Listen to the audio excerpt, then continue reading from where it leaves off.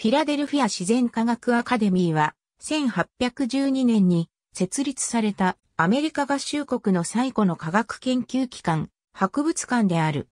2011年にドレクセル大学と提携して名称変更され、ドレクセル大学の自然科学アカデミーとなった。多くの科学調査探検を運営、講演した。博物館はフィラデルフィアのベンジャミン・フランクリンパークウェイにあり、1700万点以上の博物学標本を収蔵しており、1828年から一般公開された。アメリカ合衆国の独立後の数十年の間、フィラデルフィアはアメリカ合衆国の文化、商業の中心地であった。文化の面では、歴史上の重要な文書を収集したライブラリーカンパニーやアメリカ哲学協会がフィラデルフィアにあった。ヨーロッパ各国で科学アカデミーの活動が活発になるのを受けて、1812年の冬、アメリカ合衆国の科学の振興のために原型が作られ、1817年4月にフィラデルフィア自然科学アカデミーの名前で組織された。初期のアカデミーの活動に貢献したのは、スコットランド生まれのの実業家、地質学者のウィリアム・マクルールで、ヨーロッパから科学者を招き、アカデミーの博物学的調査探検の資金を調達した。アメリカ合衆国の初期の科学研究の中心となり、初期の会員はアメリカの開拓地に博物学標本を収集するために旅した。有名な初期の会員、収集家には、ウィリアム・バートラム、ジョン・ゴズマン、リチャード・ハーラン、シャルル・アレクサンドル・ルスール、キティアン・ピール、チャールズ・ピカリング、トーマス・セイ、アレクサンダー・ウィルソンらがいる。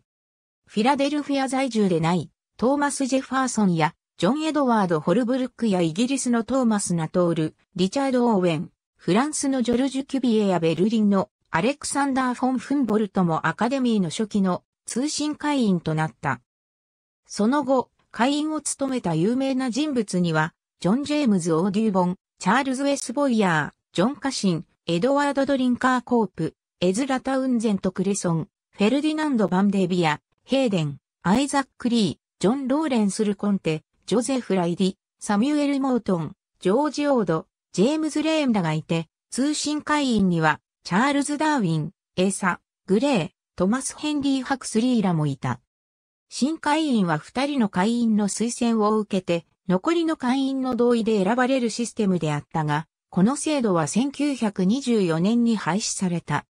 20世紀に入ると博物館としての機能が主となり、アカデミーの研究部門で学芸員などを務めた次のような研究者の業績が知られている。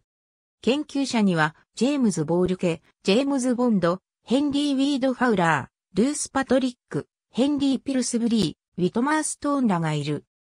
膨大な博物標本等を有しているのが、フィラデルフィア自然科学アカデミーの特徴で、1700万点以上の生物標本、数十万冊の学術雑誌、図版、写真、歴史資料があり、個人コレクションの寄付や購入、アカデミーが支援した最終探検の成果やアカデミーの職員として働いた科学者たちによる収集によって充実したものになった。